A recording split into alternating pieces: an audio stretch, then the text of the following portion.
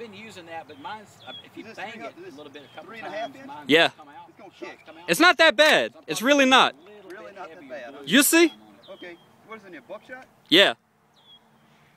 Woo, you can the heat.